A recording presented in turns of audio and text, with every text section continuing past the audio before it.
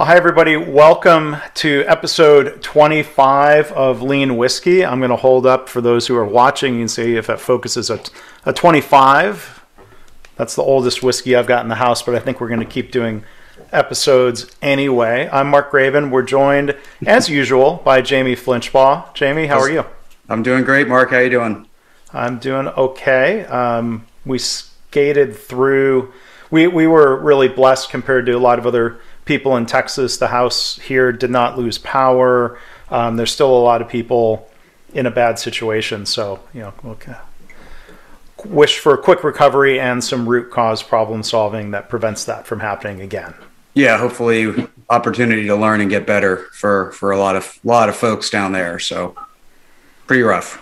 We hope so. Um, so best wishes to everybody who has uh, struggled or suffered through that in Texas and other states.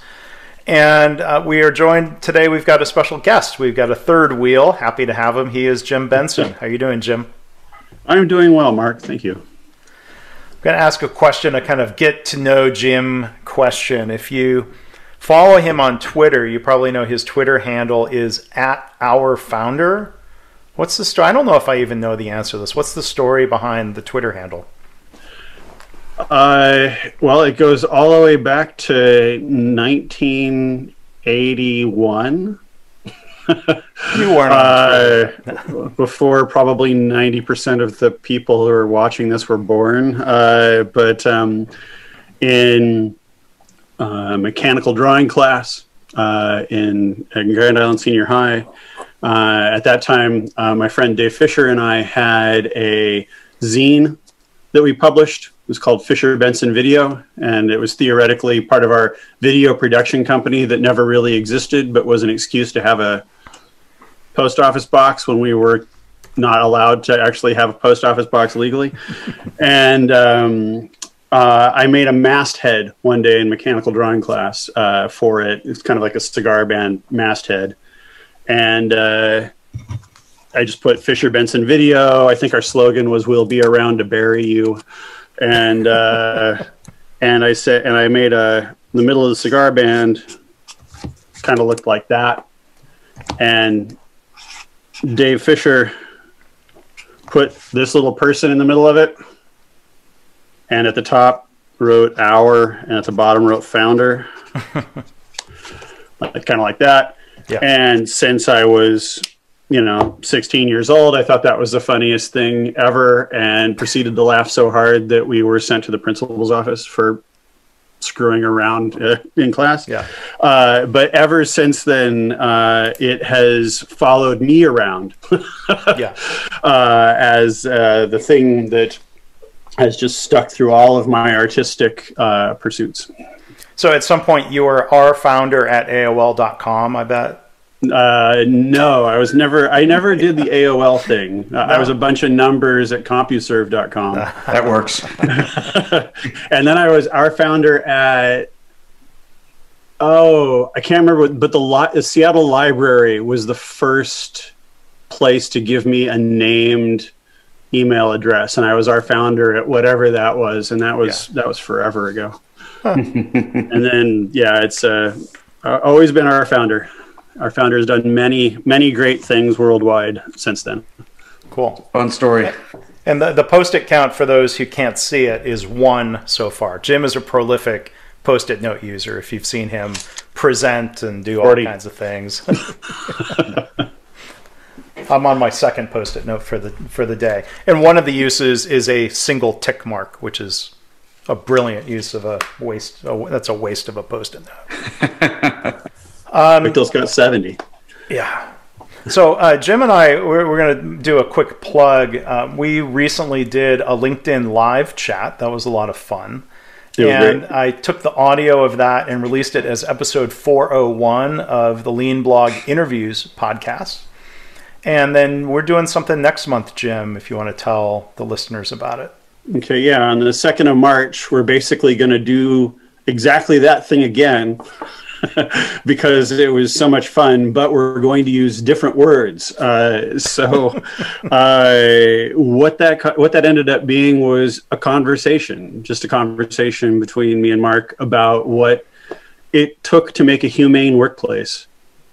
you know, uh, and what the benefits of that were, and what it took to maintain a humane workplace, uh, and that it wasn't just huggy, you know, backfalls and walking on stones and stuff like REM would sing about, but uh, um, we were actually trying to improve your business acumen by improving it. yeah. uh, and uh, so that's what we're going to talk about again is, um, is, is those things, tell some, tell some war stories and talk about some ways that we've actually done that. Yeah, so we'll put a URL in the show notes. Um, you can also find it. Jim has posted it on LinkedIn. It's listed as a webinar, but we're not going to PowerPoint anybody. No, no, there's no PowerPoint.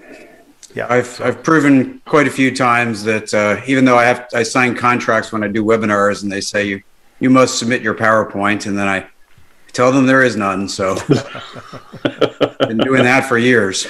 Yes, I will be happy to send you the title screen.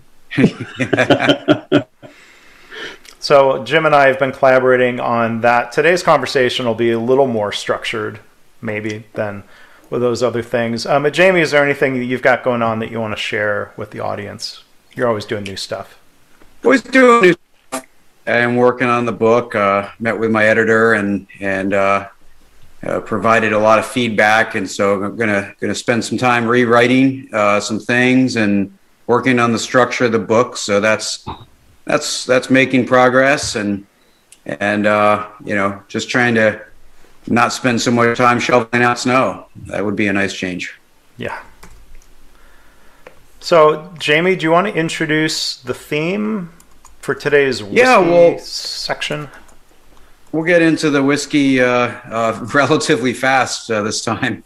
Sometimes it takes a while to get there. Yeah. But uh, yeah, given that you're you're back in uh, Dallas with the cold, and and I've shoveled snow every other day for the past two and a half weeks. Um, we thought we needed sort of a, a wintry theme. Uh, You're going to be mad there, at me. So it, it, was it was like 65 degrees outside today, so I'm not feeling as well. Okay, it's not cold anymore, but it's still February, so we'll yeah. we'll call it winter. Um, so we, we wanted something peaty. Um, you know, the, the, the smoke and the uh, the earthy tones of, of peat seem to seem to go well with winter. Kind of don't seem to go as well with a hot July day. Um, so so we we picked something uh, peaty, and um, there's a lot of ways whiskey can get you know get peat. Um, you know sometimes the water well sometimes if you're using natural water it flows through the peat bogs anyway so water comes into hmm. the distillery um, the the barley is uh, uh, malted or uh, dried out with burning peat, and that mm-hmm. that's probably the, that's really the main factor that, that yeah. goes on. But there's different kinds of peat um, uh, throughout Scotland. Uh, you get more woodsy peat uh, in the mainland. Um, uh, if you get on some of the islands, you get more of a mossy peat, but all of that can significantly change the, the, the flavor and, and give it give it some tone and and every you know every uh, every distillery of Scotch basically has you know uh, a, a, standard for how much peat they're really going to carry. So that's our theme. Um, so just starting out, I, I kind of went with a, a, a fairly classic um, uh-huh. Scotch, um, uh, kind of a standard for thing that I rarely don't have on the shelf at some point, and that's Lagavulin 16. Uh-huh. Um, Great choice. Although this bottle is, uh, uh, well, it won't last the night. So let's just say that. um, Lagavulin is, uh, you know, not not that hard to find, and 16 isn't is is quite good for the money, I think. Um, it, it's peated. Uh, its level is is 30 35 ppm, 35 parts per million of phenol, which is kind of the the tracer that they use to mark the peat. Um, again, because peat has different flavors, it's impossible to say uh, just because it has more. It's it's one thing or another since there's so many different flavor or varieties. But anyway, it's it's a it's not a peat monster, but it's it's up there for sure at, at 35 ppm. So that was uh that was mine. What's uh what's yours? So it turns out I've only got one Islay Scotch in the house, and it's not that I mean, so you know, peat is really associated with Islay. I've had other whiskeys like I really like Ben BenRiach from Speyside, and they occasionally do some peated releases.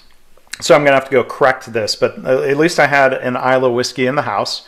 I've often had you know an Ardbeg laying around, but I finished that off. Um, Lagavulin are some favorites. So the one that I have right here is a blended malt whiskey, which you know blended just means it's more than one distillery. It's from a, a producer, a bottler called Samaroli, and so they do different releases because what they're doing is buying barrels and blending them.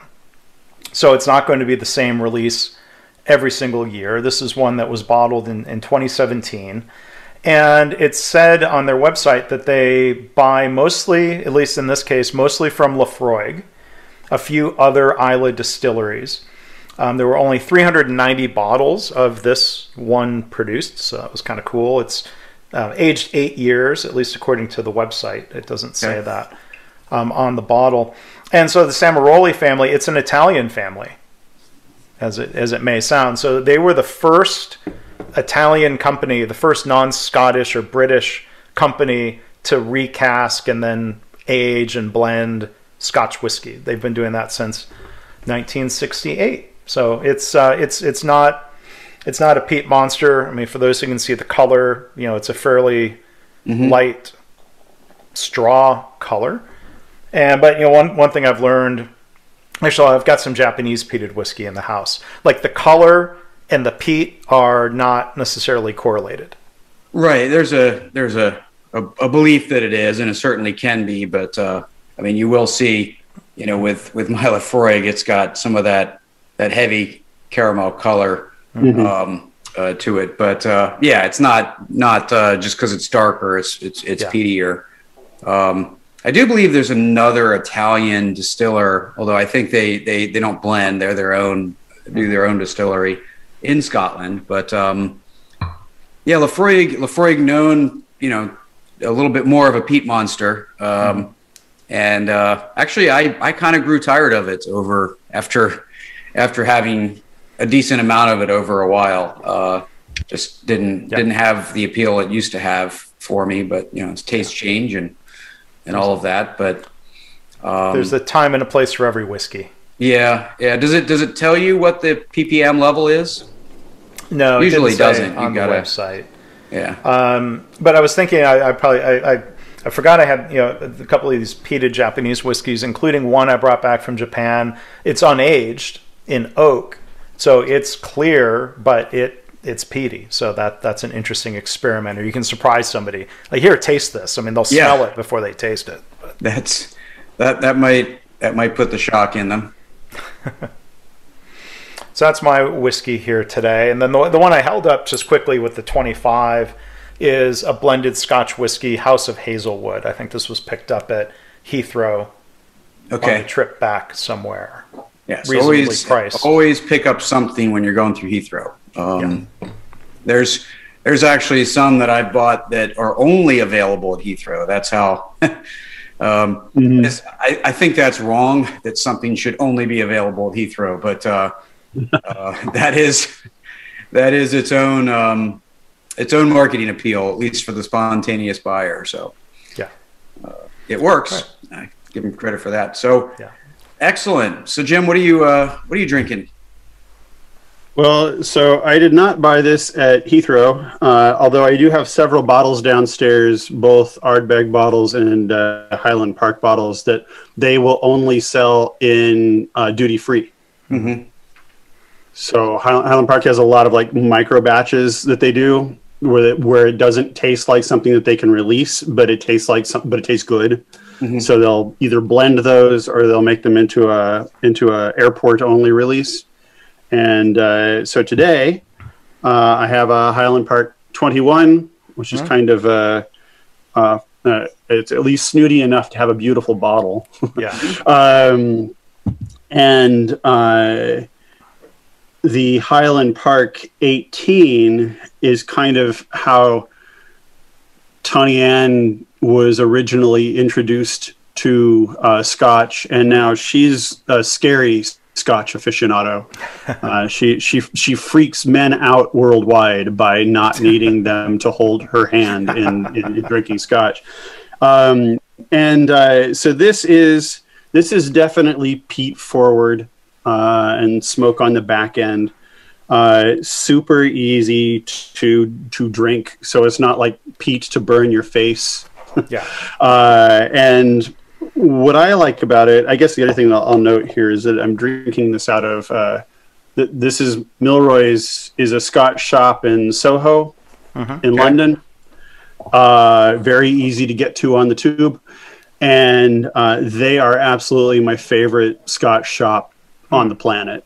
Okay. Um, you can walk in and you can say, "Can you give me something that tastes weird?" and they will very quickly produce bottles after bottles and say these things are weird. And then you go through them, and sure enough, uh, they're they're excellent for just finding the breadth of the flavor palettes of of Scotch. Um, so what what I liked about the 21 was uh, there's a restaurant in Ed, in Edinburgh called Michael Neave. Uh, wonderful restaurant. They've closed and he's opened another place down by the water, but um, they did Scotch pairings for all for their tasting menus. Okay. And that was actually the first time I'd had the 21, and they paired a 21 with venison.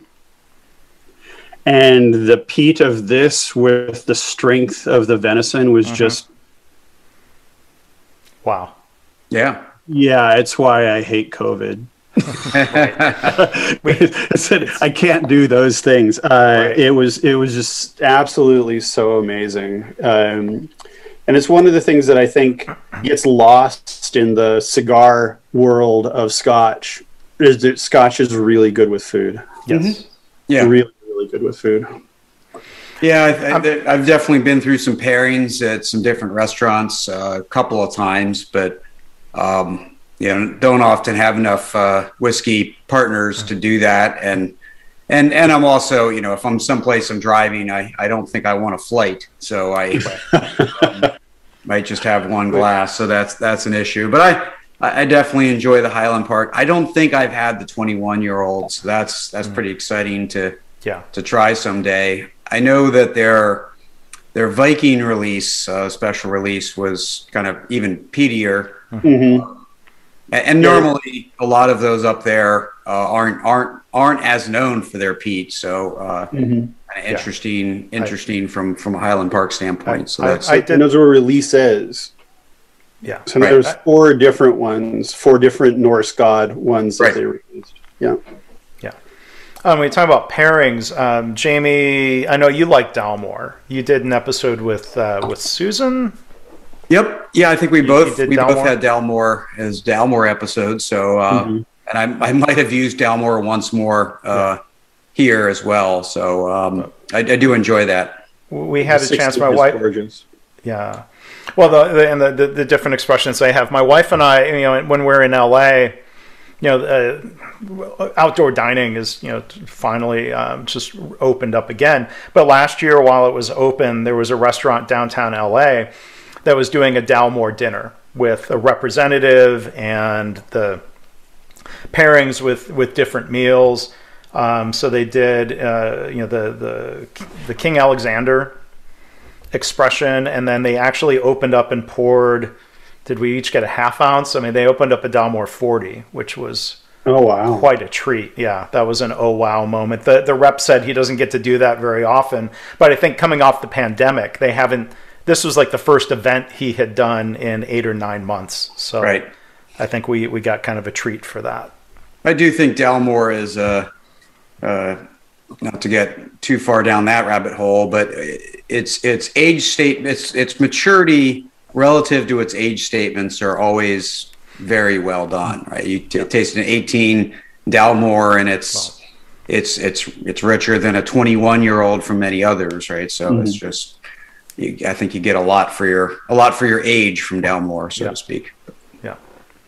All right, well, cheers. Cheers. Here's a good excuse to pour pour a nice whiskey here. Absolutely. So, so on to on to in the news. Um, and we may not spend a lot of time on this, but um, you know, a lot of us have been working from home. A lot of people have been working from home. Yeah. And you know, I, have certainly been talking with executives all over the world, and it, it, certainly seems that you know a lot of people are starting to lean towards you know more extensions of work from home. Uh, you know, a, a, lot of it will get better when it gets better, but their their uh, um, predictions and and planning is basically looking at the rest of this year in a lot of cases. So. Um, you know, I, we, we, we, there's many articles out there. We found one from Fast Company about uh, you know people finding the best spot in their in their house to work. Um, so we thought we'd just talk a little bit about working from home.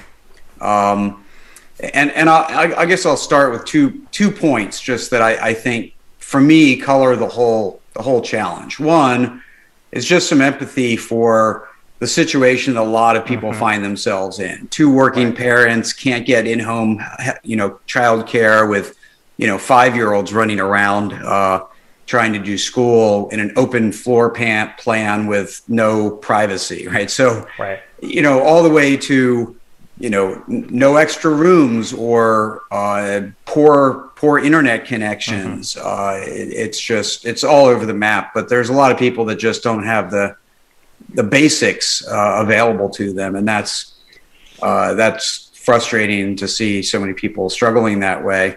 Yeah. Um, the other the other thing I think colors all of this is that I think a lot of people started working from home with a less than ideal setup, uh, with the ability to fix it, but just decided they would power through.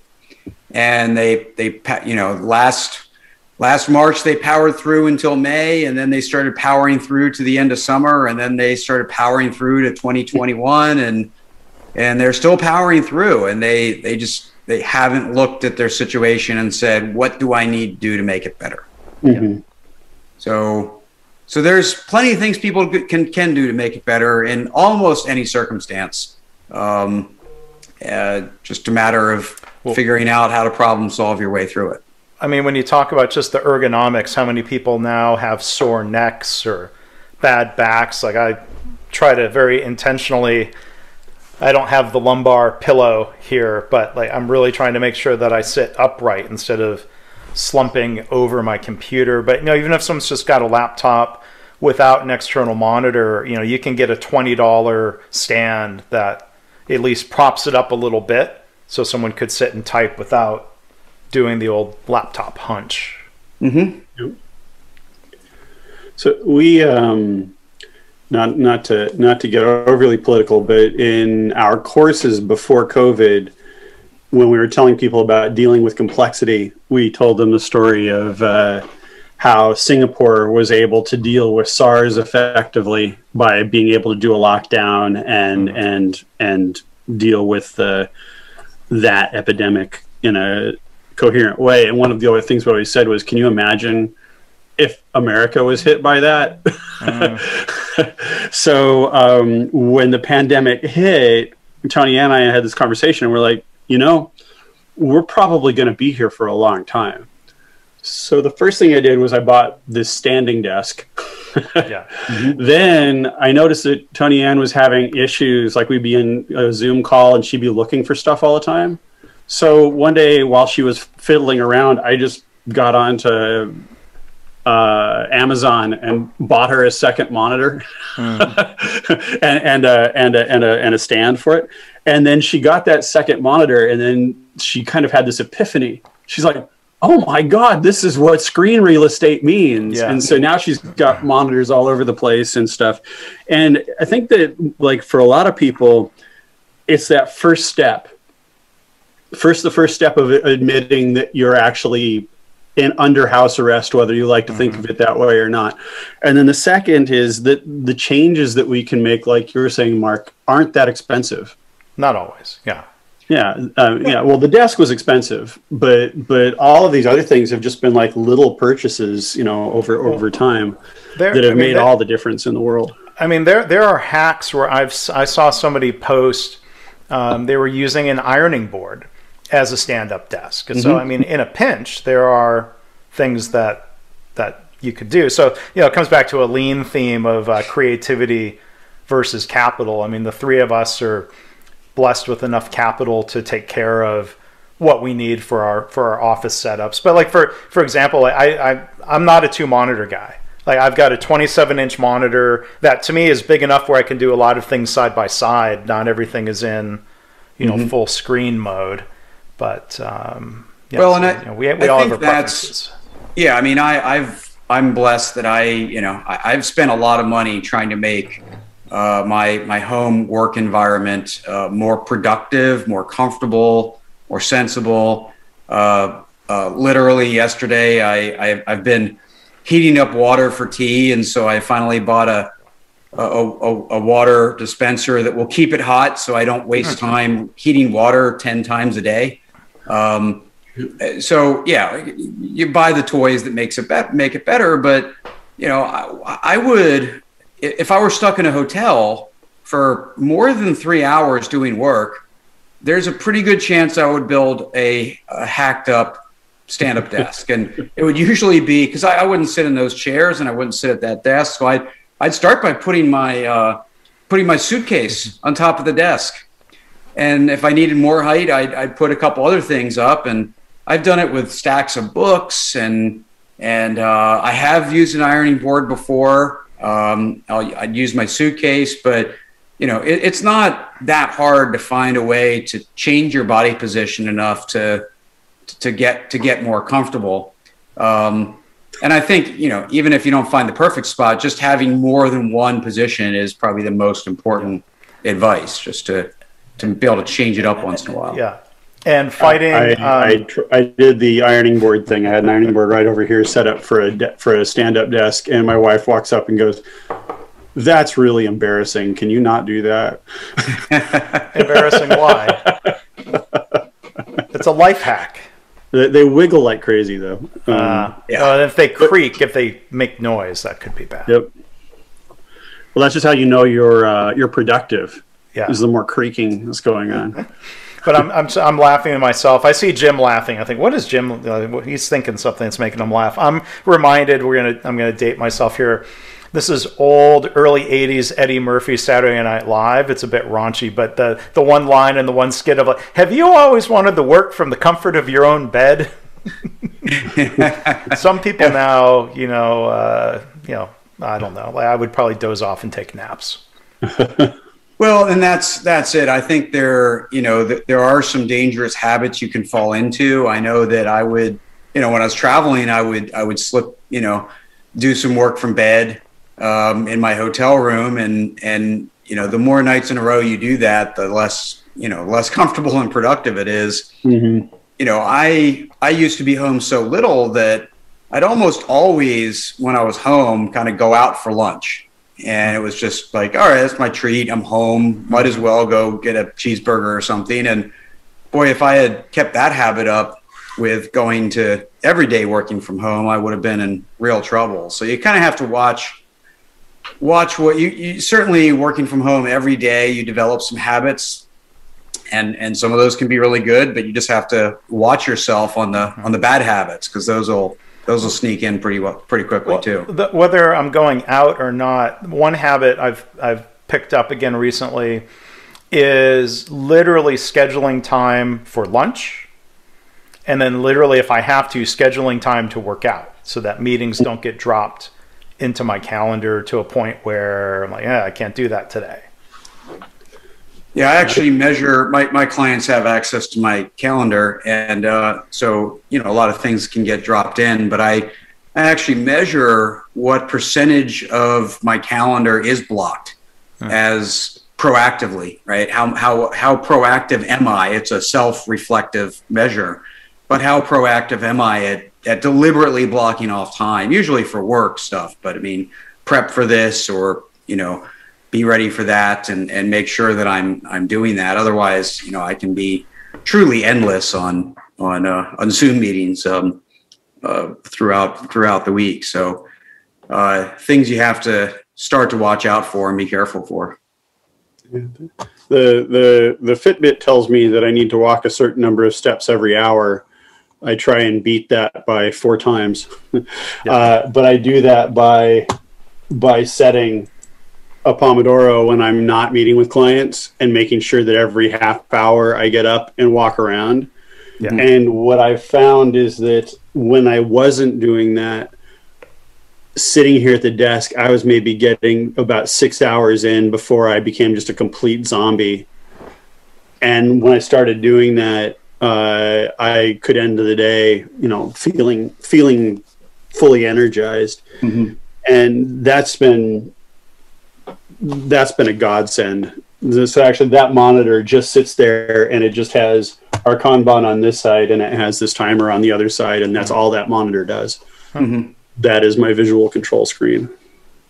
Yeah, I actually have a Pomodoro clock that you just you just put it down a certain way and it starts the timer and, mm-hmm. and we'll, we'll, go off. Uh, and I don't use it as much as I used to, but um, I would use it for for not reminding me to stop, but kind of keeping me focused on a task long enough. Yeah. Uh, but I, I, do think you know there is something for setting up some some you know understanding your different styles of work and making sure your work environment is conducive. Mm-hmm. Um, you know, for for me, it's you know, it's writing, it's it's design work, uh, it's meetings, it's administrative stuff, right? There is different different styles, but you know, when I'm sitting at sitting in the desk where I would normally do a bunch of meetings, it's a horrible place for me to write.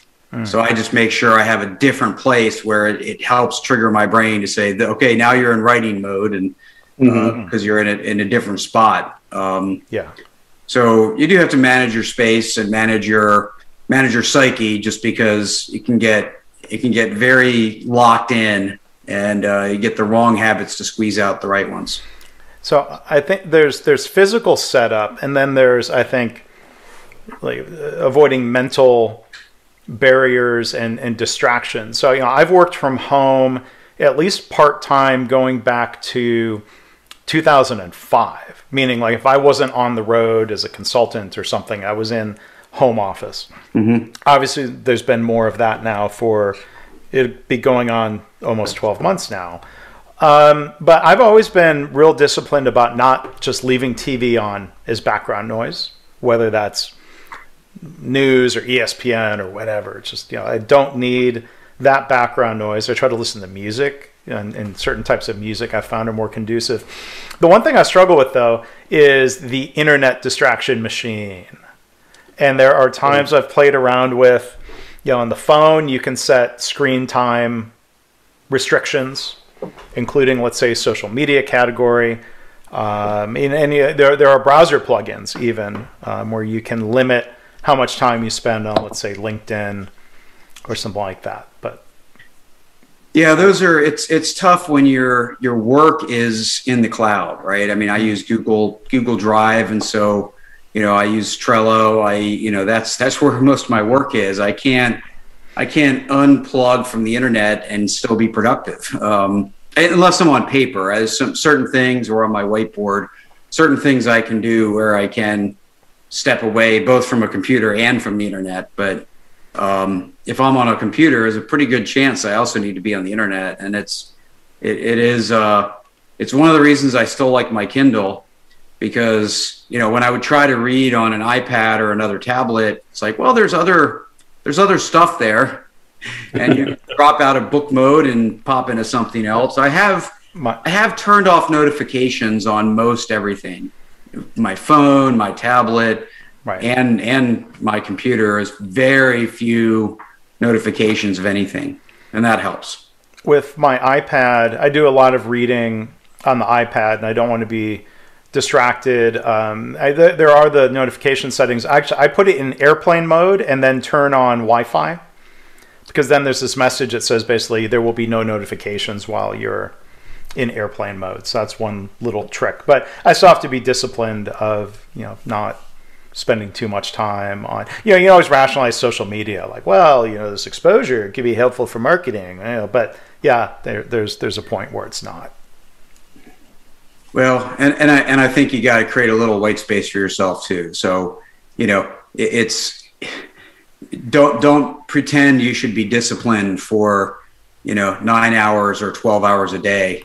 Um, I think it's every single day it's asking too much. So whether it's walks or it's, you know, you, you do turn off and deliberately go watch some television or read or whatever, just to mentally switch gears.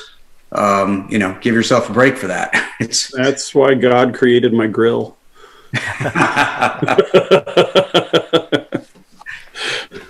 and I see pictures of what Jim cooks, and he's good with that grill. But yeah, I mean, men- mental space. Um, you know, they, they, having some sort of virtual water cooler type function wherever you find that can be helpful. I think. Mm-hmm. And that's the thing that's missing right now, right?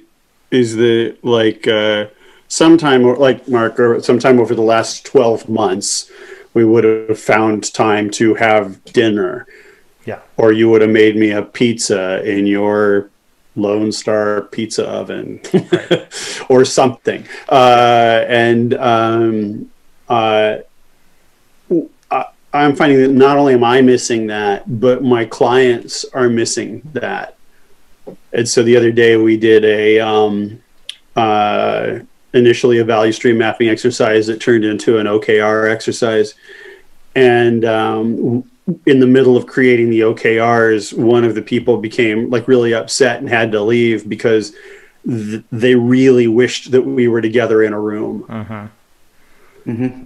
And and right. what we what I figured out that we're missing isn't the ability to do the exercise; it's the ability for people to be in the room and not do the exercise. Uh like mm-hmm. to have side conversations, to stare off into space and not feel like someone's going to see them on camera staring off into space, uh, you know, and like just you know, whenever I would do a, a uh, affinity mapping exercise with people, the whole room would just be alive with conversation. And now when we do one, people are very quiet because you only have one stream of communication and no one wants to mess that up. Yeah, that's that's where I I encourage people to use other other streams of communication, right? So if there's a group on a call, then hop into the chat, right? Mm-hmm. It's it's okay, right? You mm-hmm. when you were in person, you weren't solely listening to the one person speaking, right? You were focusing on other things. So go ahead and have a little side chat on in the chat. Um, joke around in the chat. Mm-hmm text you know I, when you're not in a meeting use use text and use ims use other it's not as good of course right but mm-hmm. but use other mechanisms other than setting up a one-on-one in a in a zoom meeting so yeah um you know I, I i do think being at work isn't about having a place to work. It's about connection. It's about culture. It's about collaboration. And so we have to make sure going back to work is is purposeful. But uh, but yeah, we we in the meantime we just can't wait for that, right? We've got to find other ways to keep the connections, the culture, and the collaboration going. And so, yeah, I, I've I've had people that might be like listening to a webinar, and they said, "Oh, I'm kind of you know we used to all get in one room and you know watch a webinar together and talk about it live." I'm like, right, great, start a chat yeah. and talk about it live, right? It's not quite the same, but it's a lot better than just everybody sitting there yeah. you know, sterile. I mean, we shut we, up and we, talk. we, we we do you know, and, and KaiNexus meetings, um, people are pretty aggressive about using the chat function. I mean, I mean they're they're they're using it a lot, and sometimes it is side jokes and whatever. And there's been, I mean, I think that's been a healthy thing. Like it's not so much where it's a total distraction, but you know, you, especially when company like KaiNexus has hired employees during the pandemic. You've got to get to know people's personalities a little bit. Some people don't speak up as much in a Zoom meeting, but the stuff they add into the chat is either helpful or insightful or sometimes laugh out loud funny. Right. But but here here's the the pro tip around Zoom chat if you're in a meeting, and, and this, I don't think this has been updated um, in the software, but I know at one point this was a fact. If you're in a meeting and somebody is recording that meeting, and I send a snarky private message to Jim Benson, all of that gets recorded with the meeting. So if it's if it's not something you would want everybody to see, then I guess keep it to a text message. Right. Or better yet, don't be snarky. Or but. or don't say it. Right. I mean, I think if if if you're not willing to to have it read out loud in in court, you know, they, they kind of said don't write the email if you don't want it read out mm-hmm. in court. I would say don't say it at all if you're not okay with it being read out loud in court. So, yeah. Um, but but yeah, I think it's okay to have you know again in person. You'd have people step out of a meeting room and go have a side conversation while they go get a drink of water. So you know allow for that freedom to yeah. you know not everybody has to be single single stream of consciousness uh, connected to the the one speaker in a Zoom meeting. Yeah. Well, we had some uh, some listener questions. If we've if we've uh, talked enough about that that we thought we'd get into. Do you want to? Do you have anything else we want to talk about in, in in in work from home, or do you want to move on to listener questions? Hit it. All right. So, question number one Is there a common lean term, expression, or quote that you think gets butchered or misunderstood? That's a good one. Jamie, do you want to go first? Sure. I I think one that I just it's it's not that it it bothers me the most. It's probably the one I hear the most that I end up trying to correct, and it's people saying some version of "Here's my lean project." And you know, I'll say I, I have done this for 30 years. I I, just, I don't know what that means. What, what is a lean project? Is it is it sanctioned by the lean gods? Uh, what, what, does that even mean? So, um, but that's kind of what they do mean is like, oh, this is mm-hmm. this is what I want to get credit for as being part of lean. Mm-hmm. Um, so you know, okay, you do some direct observation. Did you do some experiments? Did you get to root cause? I'm, I'm happy to hear all those wonderful things that you might do along the way, but I don't know what a lean project is. And, and I think every time we do it, we, we say things like that. Uh, we, we we're using lean in such an ambiguous way that it has no meaning. Mm. Um, and so, yeah, that's right. When people say, I "Here's my lean project," it's like, well, that's lost all meaning. I have no yeah. idea what that is. Uh, stop using the at, lean as an adjective in the wrong places. Yeah, I, my my corollary to that is when people use lean as a synonym for good.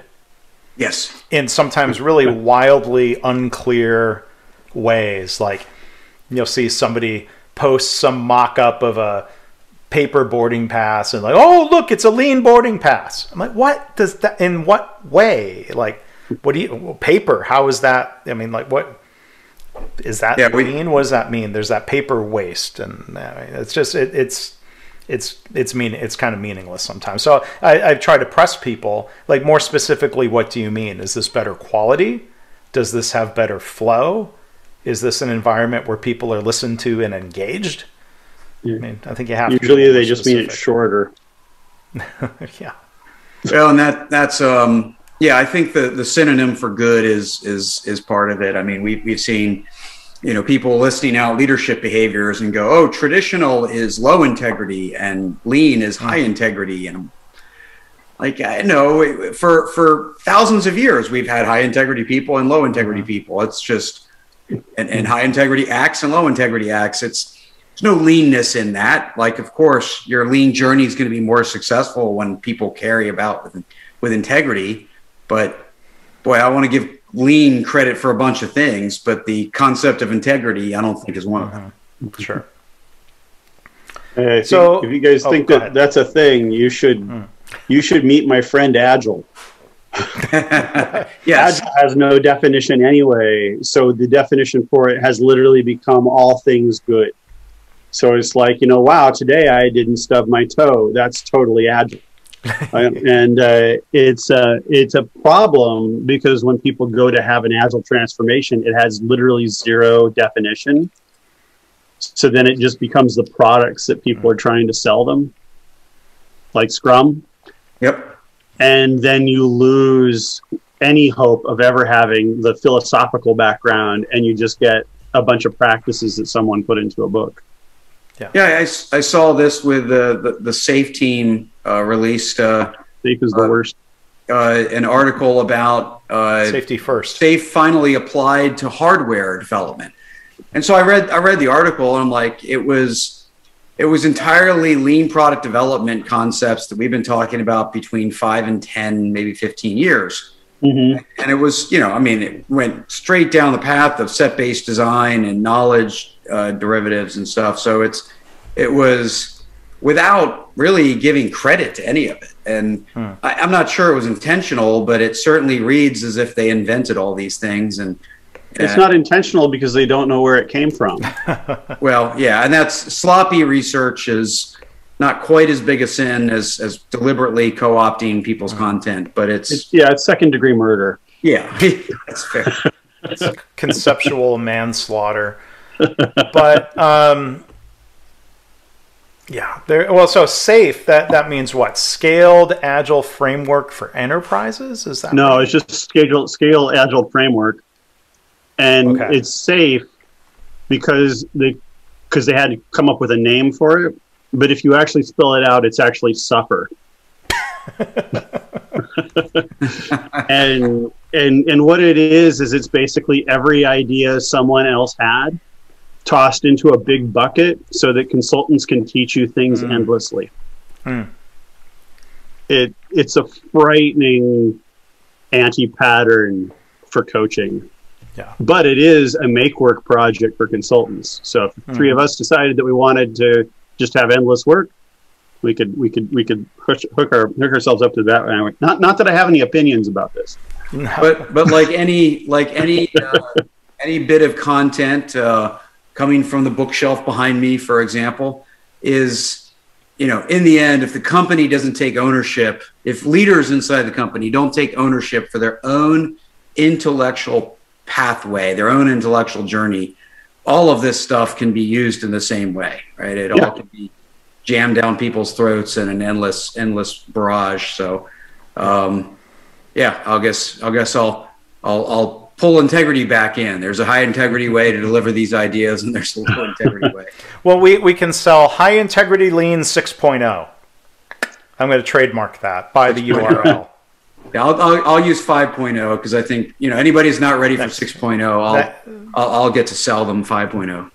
High integrity lean is nice because that's hill. So your your journey can either be an uphill journey or a downhill journey. Oh, journey.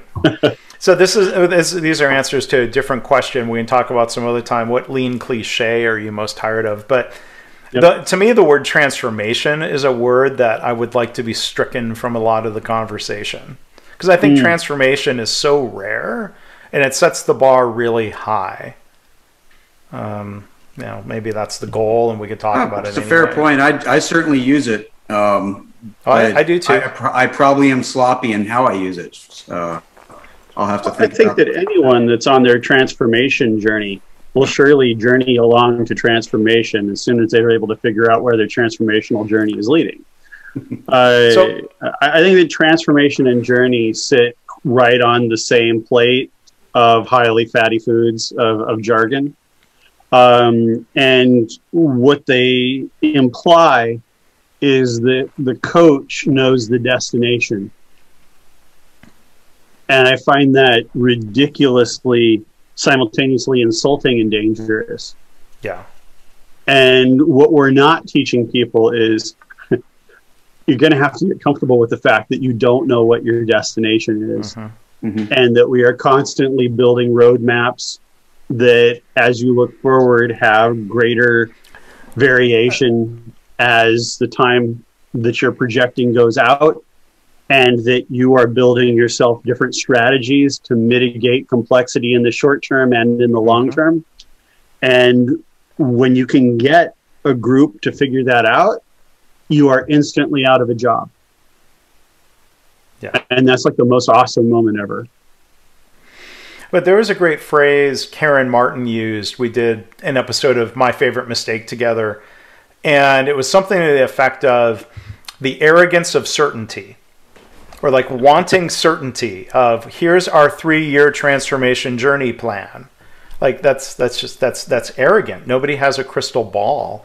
To your mm-hmm. point, Jim, we can have some sense of direction, but to think we can script that out any more than any of us could script out the next five years of our career mm-hmm. is, you know, it's silly. You've got to be willing to respond and adapt to things as they're happening. That that that that plan needs to change.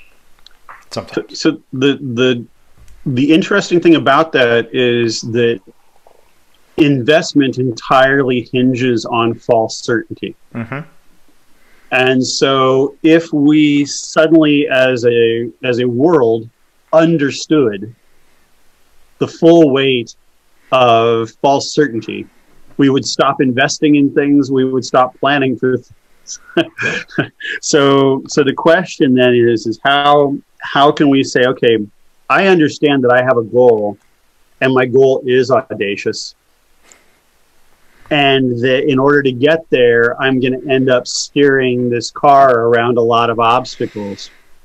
How do I get comfortable with the fact that my plan isn't going to happen, but something else pretty good is? Uh, yep. And then how do you pitch that?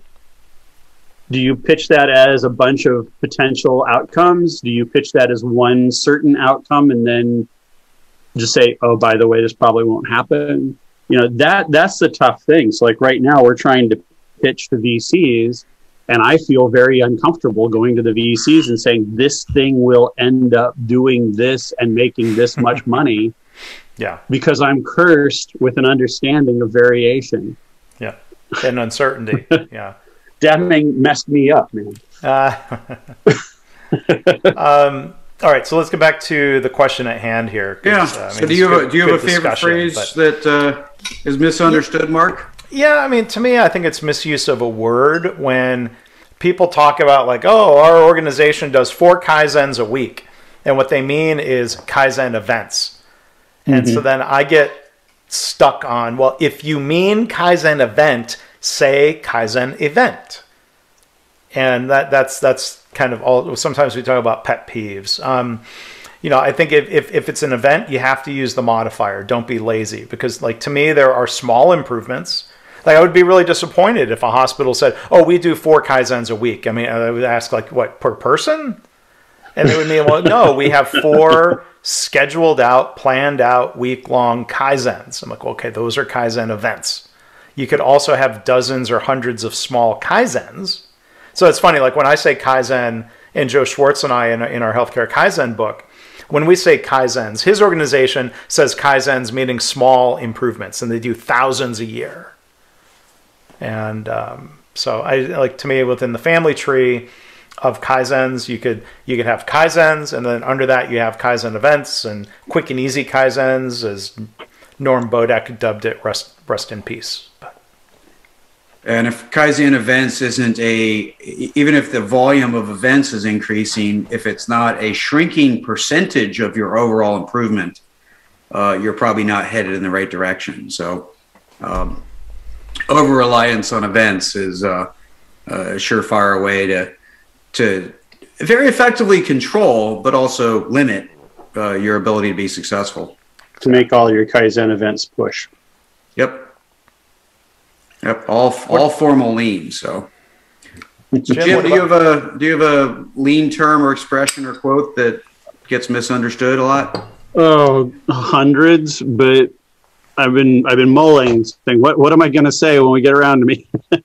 yeah, and I think that um, mine is not going to be a surprise to Mark, but it's respect for people is that lean loves to say that we have respect for people and then we send jerks out into the field to beat the crap out of people who are honestly making an effort to improve. Mm-hmm. And they come out and they say, "You're not doing this well, right. You're not doing that But right." when you say we, you don't mean you don't, we don't literally do that, but some do that. yeah, oh yes, of course. Well, we we are we're we're we're woke. Woke Lean 7.0. we do things in a lean way. That's right. We, yeah, we're, we're, we're, lean about lean. And, and so the thing is, is that I've noticed across the board that for lean and agile, people are so focused on the tools and the activities, and they assume that those are going to mm. cause these amazing religious epiphanies in people. But what they really do is they just give people more shit to do. mm. And then those people are like, I can't wait for these lean consultants to go away so I can get back to work. Mm-hmm. And we're not building humane systems for people to actually engage in continuous improvement inside of. And I think that, and Mark's written about this already, but there's the, the Deming quote about mm-hmm. 94% of the time it's the system. And what he didn't mean is 94% of the time it's the assembly line. Right. there's a social system there as well that supports the professionals doing the work and is supported by the professionals doing the work. And if that's not healthy, you're never going to get a culture of continuous improvement. And right now, the lean canon provides scant little mm-hmm. tooling uh, to deal with that particular issue. So when, when, when you talk Deming, and and Jamie, maybe we'll we'll throw a link to this in the show notes. But the one that I almost talked about was a Deming quote, and I wrote a blog post in uh, 2013 that said, "Don't threaten people with this famous Dr. Deming quote." Because oh, the, the, the, quote is, it is not necessary to change. Survival is not mandatory. And people will bludgeon people with that quote, meaning basically, you need to do what the bleep I'm telling you to do. And I'm like, I don't think that's yeah. really what any of the intention of any of that was. Yeah, I, I think, um, yeah, because I, I, wrote about respect for people as, uh, you know, in, in the past and how it's misused. I think it is, it's thrown around like a bumper sticker.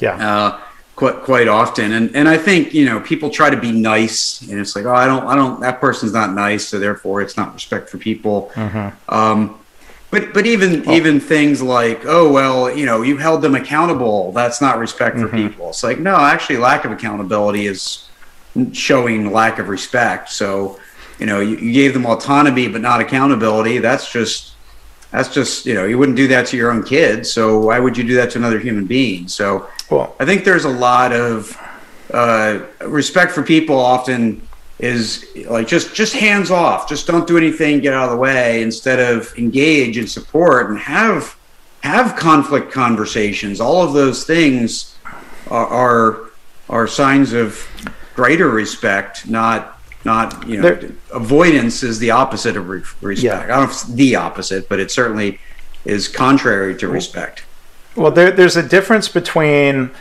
um, challenging people. Toyota uses the word challenge a lot. It doesn't mean you need to be a bleep about it. Mm-hmm. Right, there's a fine line, and there are some people, and Jim and I are. This is a this is verbally, so it's not a subtweet, but we're basically subtweeting out loud. Like there are some people still running around thinking that they are the second coming of Taiichi Ohno, and because Ohno had a reputation of being a jerk, therefore they are entitled to be a jerk. And I'm like, I don't think that flies in the year 2021. I don't think it flies anytime, but no, yeah. no offense to Ohno, but Ono Ohno was operating in a different time, and he had this reputation of people would say, "Oh no," it's you know they would call him Mister Oh no, as in "Oh no, he's coming," and and like obviously there's a lot to be thankful for for the contributions of Mister Ohno, but it doesn't mean we are entitled to act like him. Yeah, it's like like uh, I, I use Elizabeth Holmes just because it comes up, you know, thinking she's like Steve, you know, she she started to dress like Steve Jobs, and therefore I'm I am like let's copy everything about Steve Jobs, and not even understanding why you're doing it. So, um, yeah, Taiichi Ohno was you know had had some good things, had some bad things. Some of it was contextual, some of mm-hmm. it was the sign of the era. Some of it was the sign of the situation they found themselves in. Sure. Yep. Um, all all conditions that have nothing to do with where you find yourself right now. Then I, I, think um, the word accountability. I, I mean, accountability is a good thing, but this happens a lot in healthcare. We're going to hold them accountable means we're going to blame the individuals for these systemic problems. And that's why I cringe when I hear in that context, different than I think you would mean it, Jamie. Mm-hmm. Yeah. Um, you very rarely when... hear somebody building hear, being held accountable for something that's gone right. um, right. If you can build a system with a group of people in it, or if they can build the system, preferably, where they understand what their roles and responsibilities are professionally, accountability always comes with that, and it usually comes with that as as an outgrowth of agency, as opposed to an outgrowth of did you do your job description. Um, and there's so many we we're still carrying a lot of Tayloristic weight on our shoulders, mm-hmm. Regardless of what industry we touch. Um, where you know PMI is still largely uh, a Tayloristic uh, framework, and there's a lot of project managers out there that have been bathed in that water. Yeah. And so the, the question is, you know, at what point do we actually begin to understand? no, servant leadership is a pendulum swinging, you know, way past acceptability. How can you get someone who understands as a leader that they're supposed to actually be decisive yet be a team member? How do they how do they how do they balance that? How do they balance that with the needs of middle management and understanding that middle mm-hmm. management is given KPIs to meet that people give them to them and they walk out of the room and then middle management's like well now i just work for the kpi yeah. it's like no that's not that's not right either. So the the healthy org is something i think that the evolution of lean is going to have to deal with that we've been unwilling to deal with because we've been fixated on the shop floor for so long. Did did, did you say did you intend evolution to sound like evil evolution? No no, I, uh, evolution can sound like is uh, evolution. I, I, think I've discovered. is that a Seattle accent or a Nebraska accent, Jim? I, I, I'm a man of the world, Mark.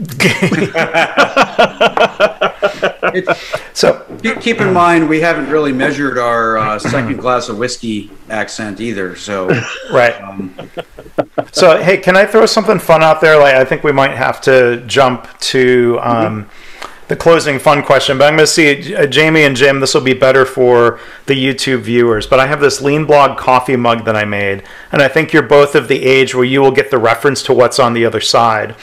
And I'll preface it by saying this design, which I had put onto a T-shirt, and I bought one of these T-shirts, and then shortly after, the company that makes said T-shirts shut it down and said it violated copyright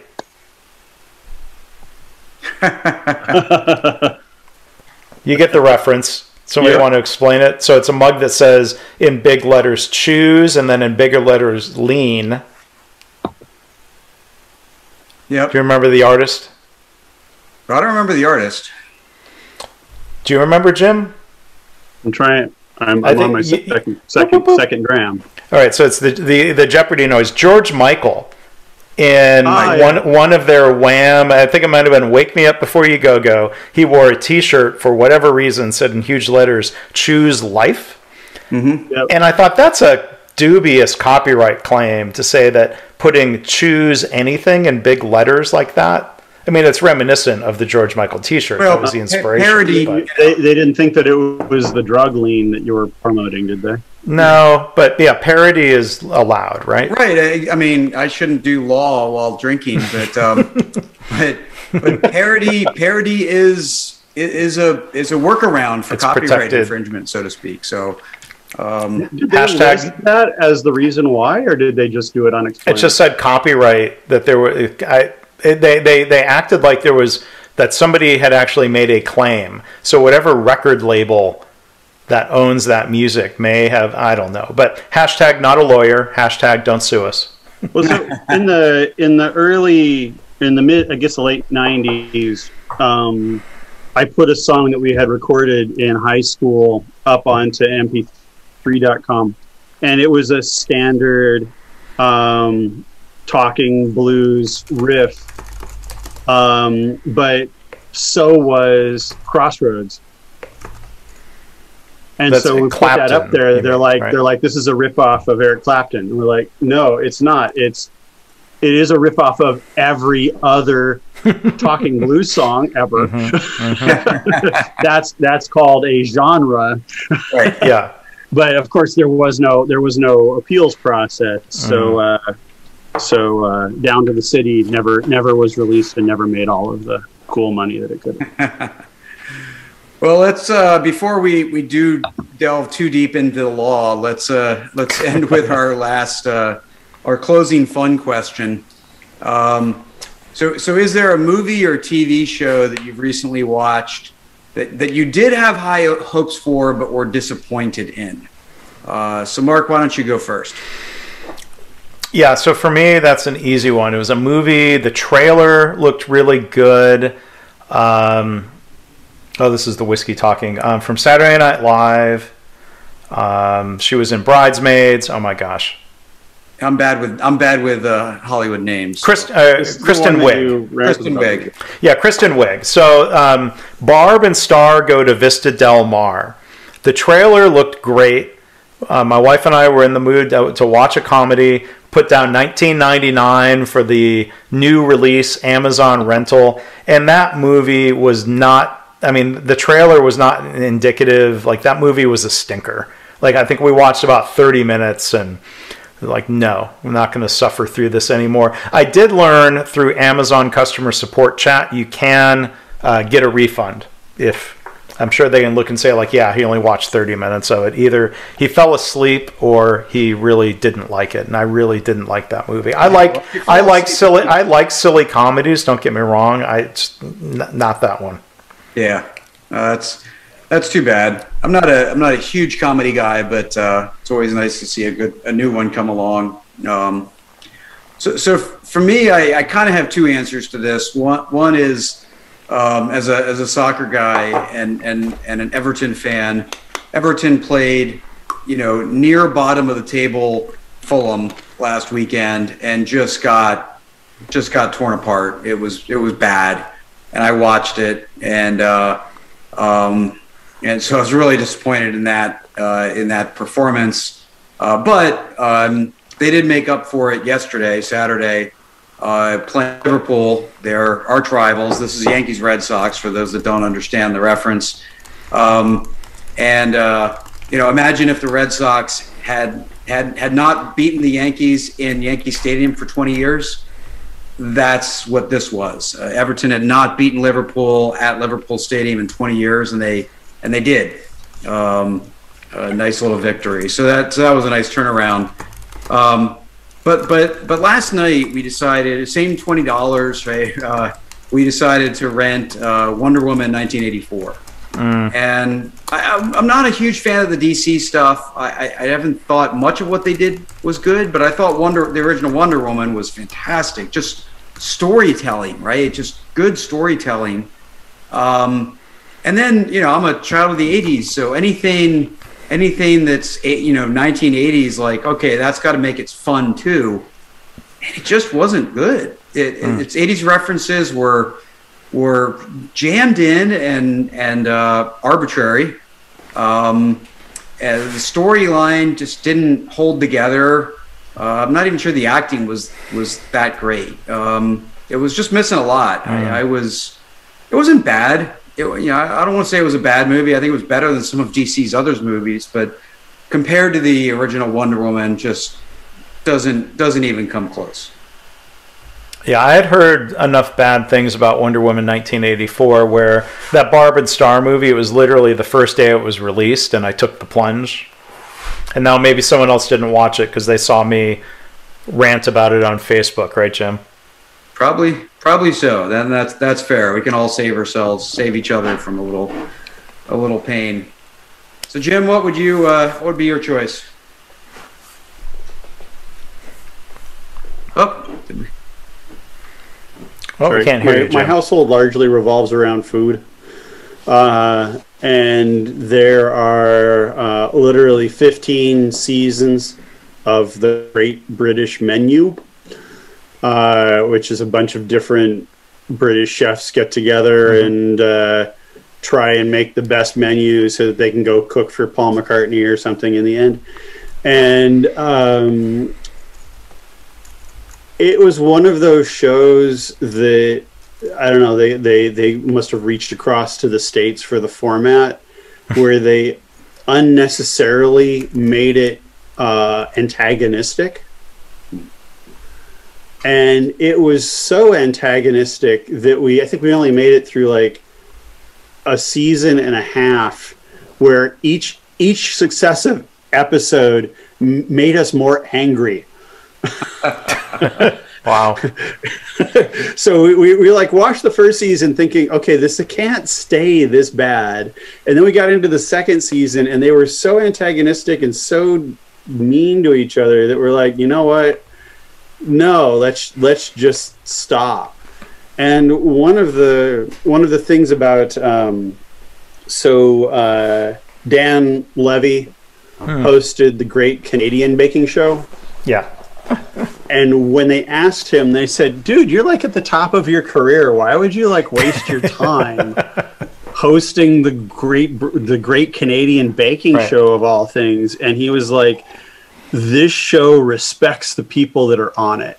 and yeah. they respect each other. And he mm. said the first time I saw the Great British Baking Show, he's like he tweeted, "If if this ever comes to Canada, I have to host uh. it." and uh, I, I, thought it was interesting. There's there's things on both sides, uh, and that uh, that I don't know. That was the thing. It, it, was just so mean. It was like I did. I don't need. I don't need you know blood sports in my food. Yeah. Right. So no Gordon Ramsay. Uh, yeah, Gordon little, Ramsay's a special case. Okay. A little bit of that uh, goes a long way, though. Yes, yes. Uh, well, and so one of the things that you'll notice on Top Chef is that, that, that it was the longest makeover show in history, and the makeover was actually Gordon Ramsay's personal perception. so by the time you get to the like the later ones where like they have the kids and stuff, Mm-hmm. He he's he's like happy grandpa Gordon Ramsay. Right. Where every so often he'll show up and say, you know, God damn it, cook better. But he's not the total jerk that he was in the beginning. Right. Which is interesting because it's the same thing that happened with Anthony Bourdain. Hmm. Was at the beginning Anthony Bourdain's just like I'm I'm an egomaniacal moron yeah, and then right. as you got farther and farther into his series he got a lot more empathy for the for the things he was doing. Yeah. So let, let, let, me give two positive shout outs though, because I, I often talk about the stuff I don't like. Um, it's not quite the same, but similar time slot on CNN. The Stanley Tucci Italy show. I thought the first episode of that was really good. Tucci is not Bourdain, but I do mm-hmm. recommend that show from a sense of travel and exploration and food. Because the first episode was Naples and pizza. That was a lot of it.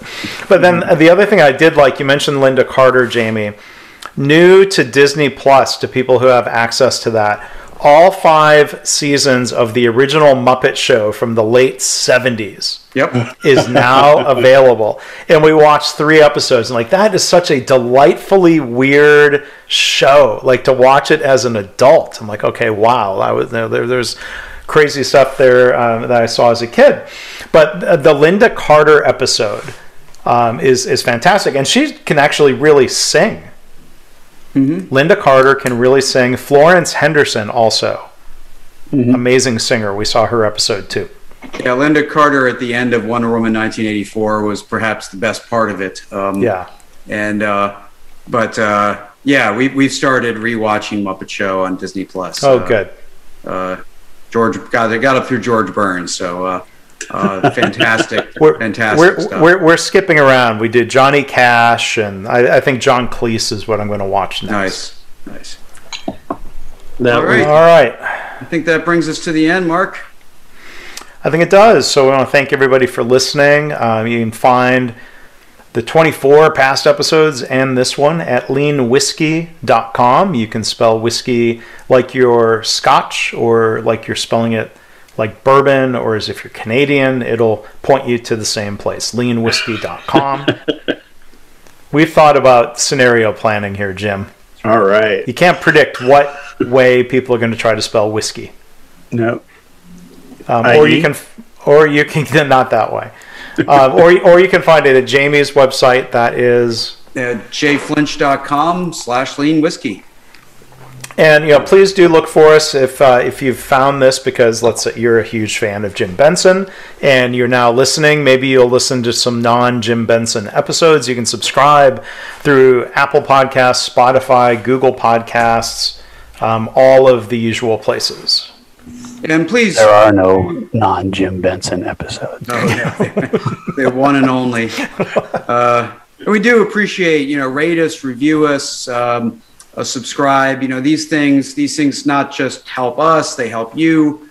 Uh, they help other listeners. Really do appreciate you engaging with us uh, any way you can, including asking us questions that we, as we show in this episode, we love to respond to. So, with that, signing off. Cheers. Cheers. Cheers. I finished my whiskey, but no, there's there's a sip. Tiny sip. Thanks, guys.